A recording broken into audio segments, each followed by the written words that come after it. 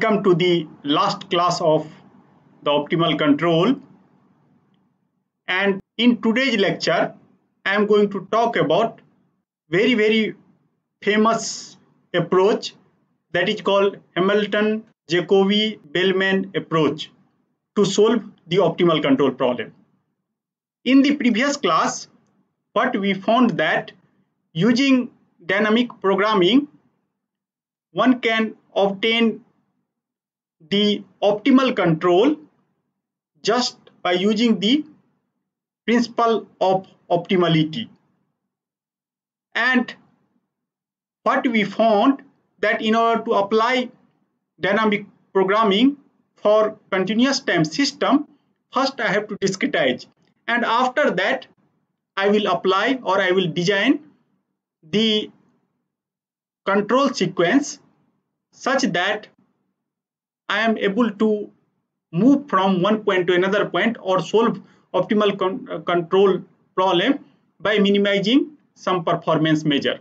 In today's lecture, we are going to see that suppose I have continuous time system and I do not want to discretize that continuous time system and if I apply the dynamic programming and it is possible to show that in that particular situation one celebrated equation that is called Hamilton Jacobi Bellman equation comes into picture. And solution of that particular equation will give gives us the optimal control. So I can able to achieve optimal control for continuous time system using the idea of dynamic programming. That is the main goal of the last lecture so let us try to understand what is Bellman principle of optimality. So this is an alternate method of obtaining closed closed loop optimal control using principle of optimality and Hamilton Jacobi Bellman equation.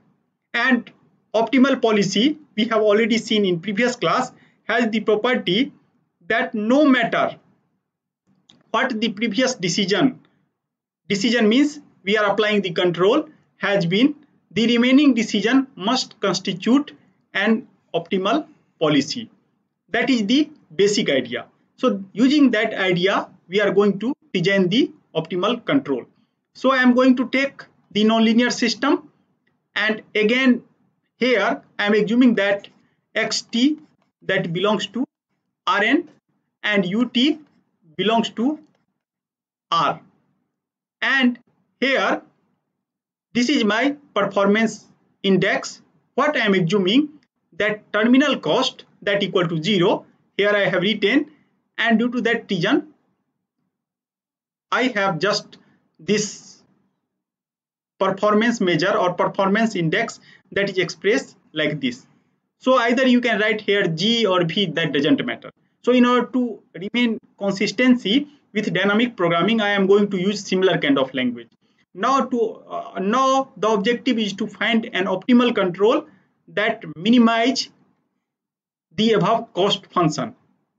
And now what i am going to assume that I have some kind of optimal solution that is x star and control u star that is also optimal then at that time I have this much of performance measure.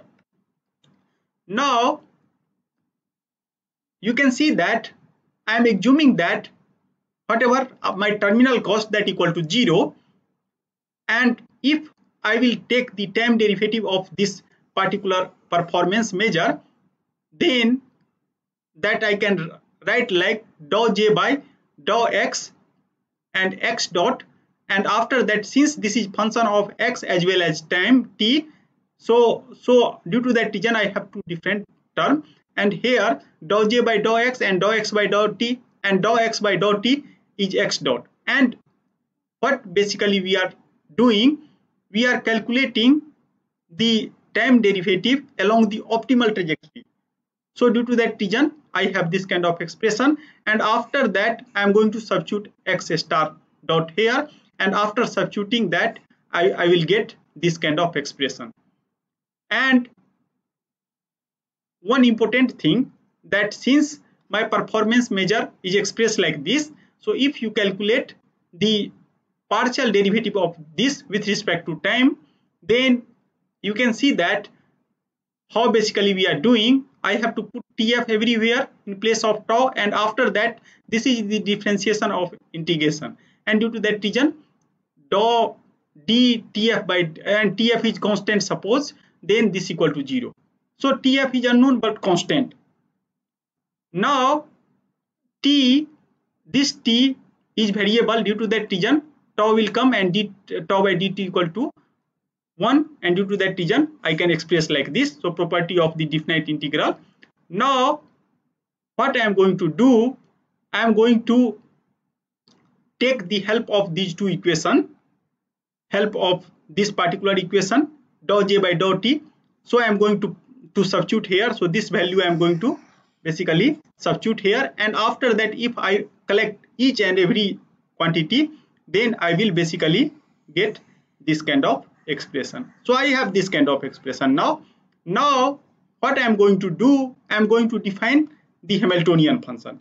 And in order to define the Hamiltonian function now I am going to select the performance measure. So what whatever integrand or performance measure I am going to take.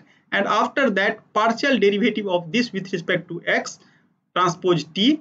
And after that whatever our dynamics that kind of things I am going to select. So I have defined now Hamiltonian in this way. So if you define Hamiltonian in this way, then what happens that my boundary condition and I am assuming that terminal cost equal to 0, then from this equation you can see that I can obtain this equation because in, I am assuming that this whole quantity up to here to here that is nothing but the Hamiltonian and Hamiltonian along the optimal state, optimal control. So due to that region H star I have detained. And this equation is called Hamilton uh, Hamilton Hamilton Jacobi equation since it is further used the Bellman dynamic programming. So now I am going to involve the idea of dynamic programming and due to that region, this equation particularly this equation also known as Hamilton Jacobi and Bellman equation. So this is up to here I have Hamil Hamilton Jacobi equation but in order to process or proceed further towards the optimal control now I am going to use the idea of dynamic programming and due to that that reason this name come comes into picture. Now if you remember the Pontryagin process so here basically what we are going to do we are going to compare whatever previous approach with the Pontryagin process. So so at that time what we found that basically whatever inside the integral so so inside the integral suppose i have some kind of quadratic function so so my performance measure so whatever performance measure in case of the Pontryagin process. So I have some kind of, if you remember, then I have defining uh, uh, define h here, and after that x tf, and this is tf, and after that, so this is terminal cost, and after that uh, I have 0 to t, t0 to tf. Uh, you can you can write, and after that I am going to define here x transpose qt into xt and after that plus half u transpose rt into ut and into dt. So in order to to define the hamiltonian we are collecting this term. So same term. And after that what basically we are doing? We are taking the co uh, co-state variable. And dimension of that co-state variable is same like the uh, uh, the uh, dimension of that co-state variable is same like the dimension of the dynamics. And suppose if that is linear system then for linear system suppose if my system is x dot uh, equal to at into xt plus bt into ut at that time we are multiplying with with this. And in order to find that co-state variable we have to solve one equation. So in order to make sure or in order to uh, to give guarantee that necessary condition for the existence of optimal control we have to find the set equation co-state uh, means state equation co-state equation and boundary condition. So co-state equation is nothing but partial derivative of hamiltonian with respect to x at the along the uh, optimal trajectory optimal control. So same kind of equation i have. Now if you see if you compare with the previous previous slide so in previous slide i have taken the nonlinear system and whatever inside the integrand so this is for linear system. So for linear system we are defining like this here. In place of h htf i, I can also uh, define something xtf and i have terminal cost. Suppose suppose here h whatever h i am going to consider this particular h is positive symmetric semi-definite matrix and x transpose and xtf so this is for linear system. And for linear system I have this kind of situation. Now I have nonlinear system. And in nonlinear system I have performance measure. If you see carefully then performance measure inside the integral I have this quantity. So same quantity I am going to substitute. And after that what I am going to do here this in place of this co-state variable now I am going to take this particular variable so so so here now just I have changed here at the place of co-state variable. So now co-state variable can define like this. And now that co-state variable is exactly nothing but lambda t and again if I take the lambda dot then I can apply same kind of theory. So due to that reason after applying the Pontryagin principle Pontryagin condition for for the optimal control I can able to write like this. Now what I am going to do now first I have formulated the Hamiltonian equation like this. After that minimizing this equation I will uh, get the co-state equation here I have very very specific co-state equation and after that what we uh, we have understood that that this Hamiltonian, whatever Hamiltonian we have defined here, that Hamiltonian should, should satisfy this Hamilton-Jacobi-Bellman equation. And where if suppose that boundary condition is zero, then I have this kind of condition.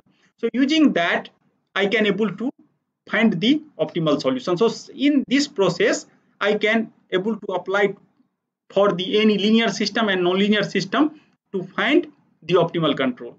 So difference is just here that here in place of the co-state variable now I am going to use this kind of thing and after that I have to apply the HJB equation Hamilton Jacobi Bellman equation now let us try to see this kind of process for the linear system.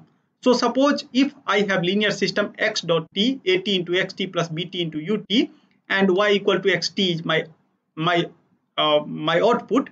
And suppose here tf i am assuming infinity. It means that tf final time is very very large and i am assuming that performance measure associated with that terminal cost is zero.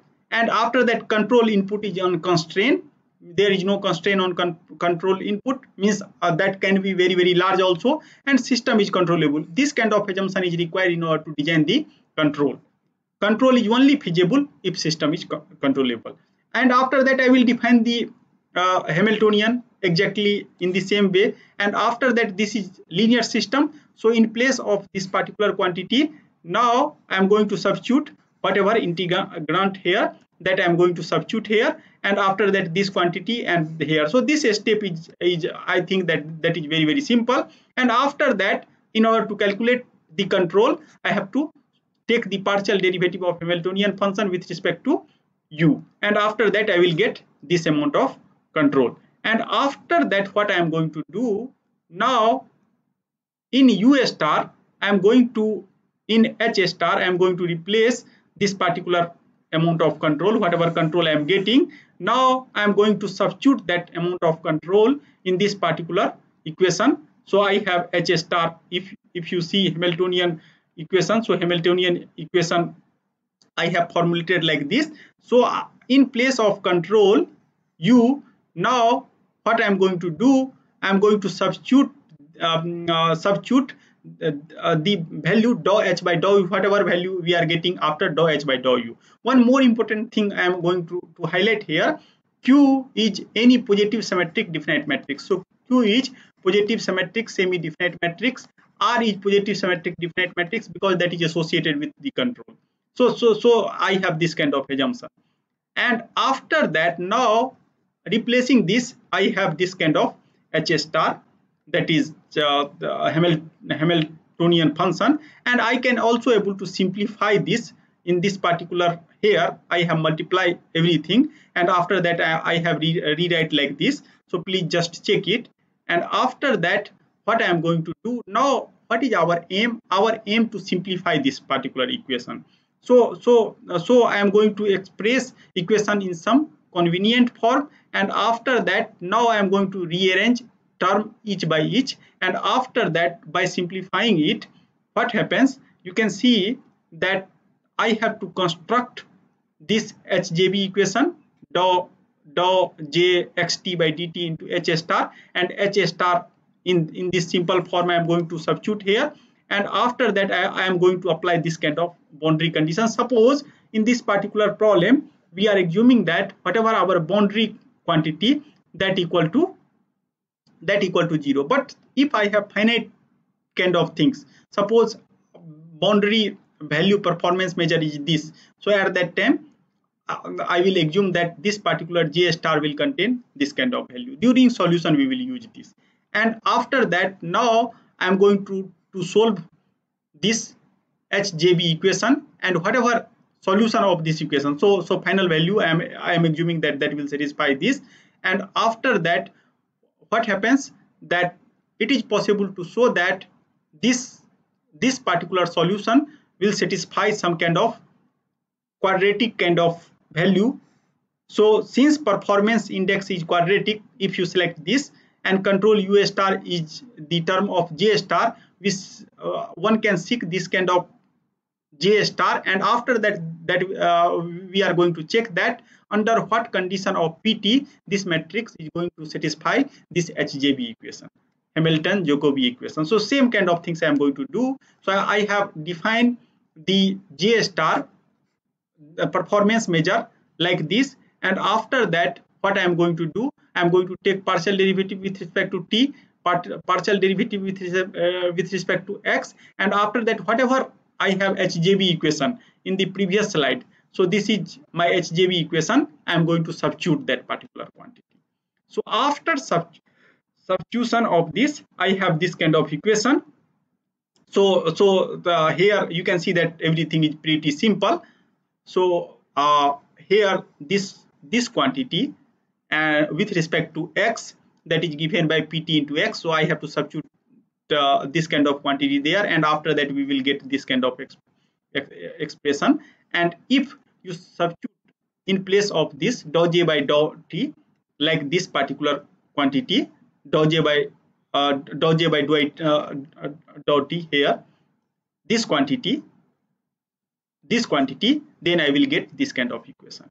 And after that it is possible to show since this quantity this particular quantity is always a scalar because Hamiltonian equation is a scalar and here from from here you can see that this is a scalar and all summation equal to a scalar. So if if you see any term any term inside this particular summation that is a scalar only. And due to that reason this particular term is a scalar. And i can also able to write this quantity like like this way. So so, so that is not a difficult step to check. And after that what happens if you put everything then finally whatever term that comes into picture that is differential algebraic Riccati equation. So so I have differential Riccati equation because p dot t is coming from differential uh, differential. And if you solve this and if you are going to substitute this kind of boundary condition ptf equal to ftf because final cost i know that final cost is this. If suppose that final cost is zero then ptf equal to zero so if you solve this particular differential Riccati equation because differential is involved due to that reason this is called differential Riccati equation. I hope that you have already encountered with this kind of equation.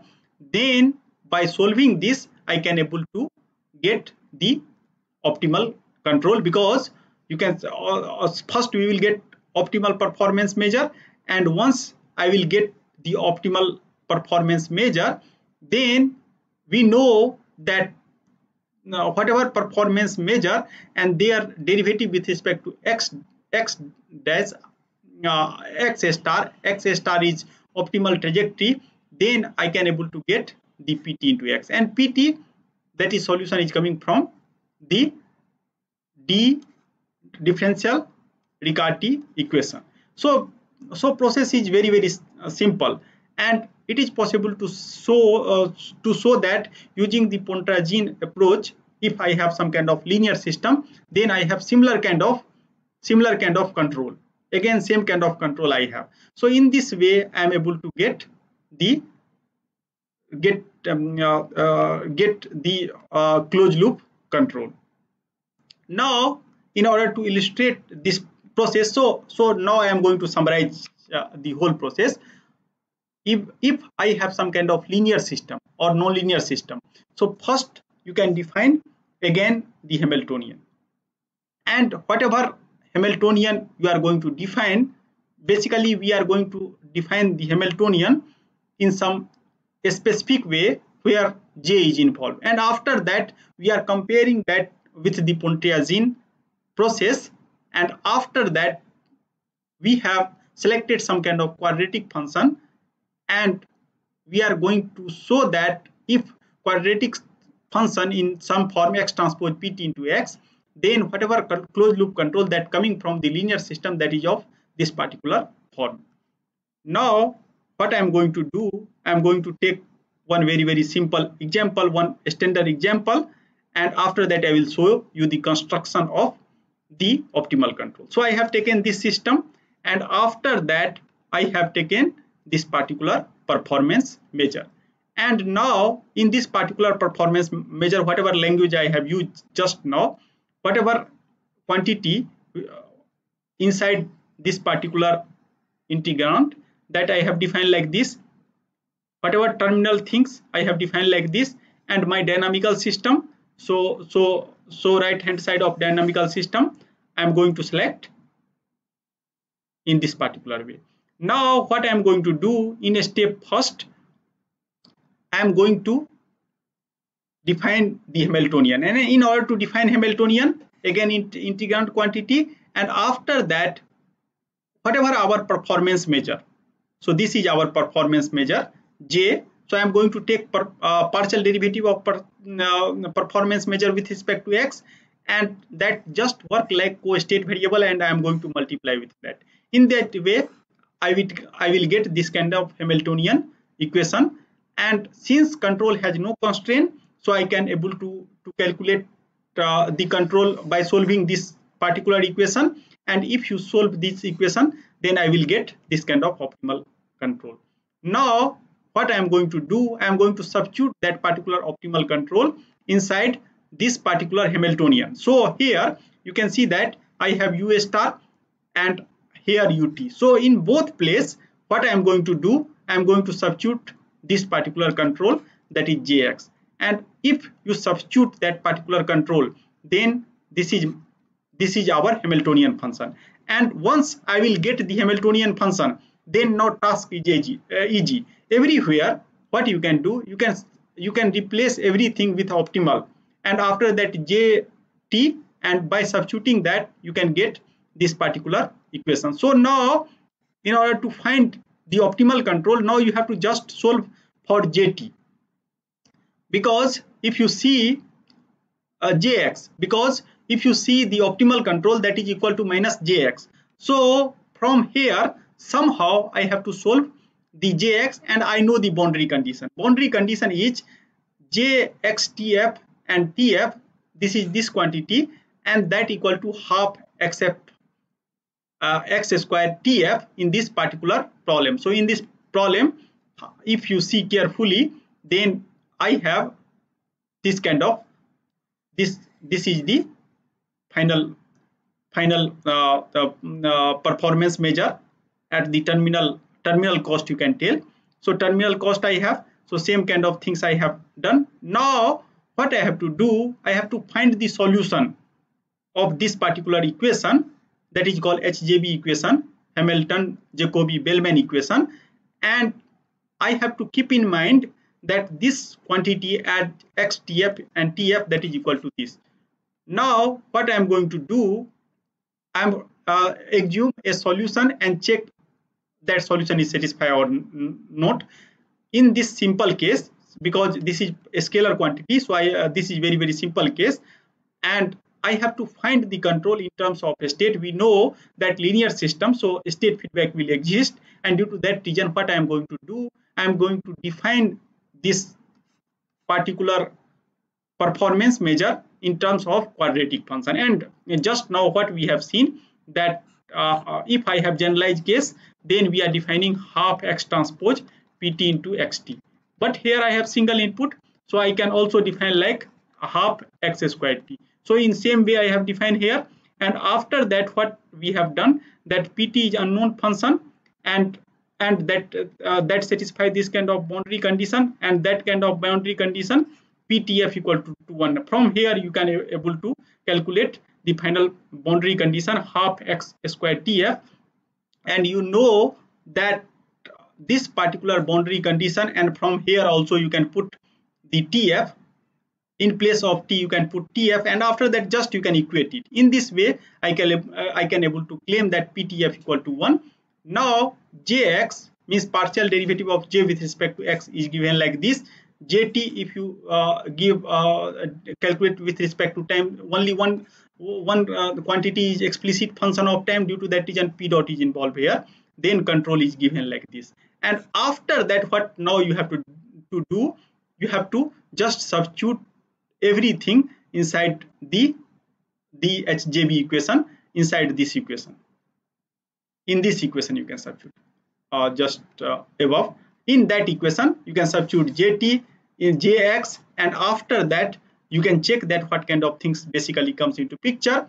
Now if you substitute everything inside this equation then i have this uh, this equation. So if xt is not equal to 0 then what happens that this should be 0 because multiplication of these two be 0 so initially if you are at equilibrium then there is no need to apply any control.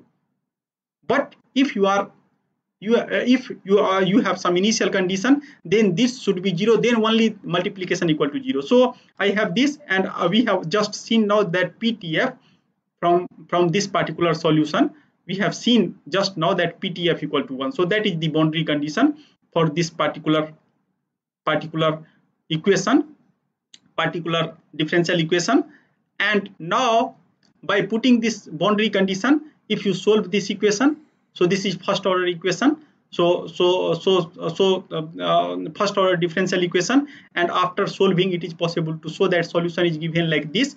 And suppose if your time is very very large infinity so pt so you can you try to uh, to check that as as tf final time. So you can substitute here tf that tending towards infinity. So this whole control input that is tending towards this value. Because all other quantities this is exponential term this is exponential term and t minus tf if tf is tending towards zero then so this term is zero this term is zero. So pt mm, p infinity equal to root, uh, root 5 minus 2 so in this way if tf is very very large then i can design this kind of control and using this optimal control so i have closed loop optimal control for first order system such that in optimal way i can able to steer from any initial condition to the origin. So in this way, I can able to apply Hamilton Jacobi Bellman equation in order to solve the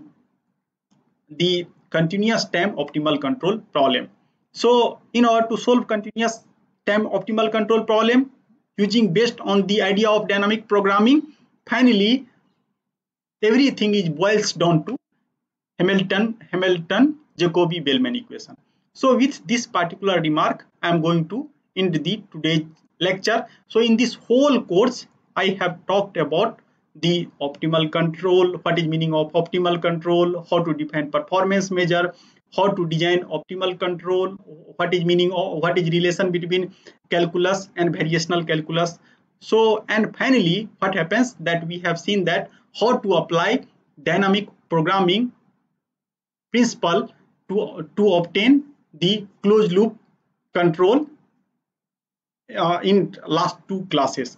And basic idea everywhere is the idea of optim optimality or principle of optimality. So with this remark i am going to end this whole course. So thank you very much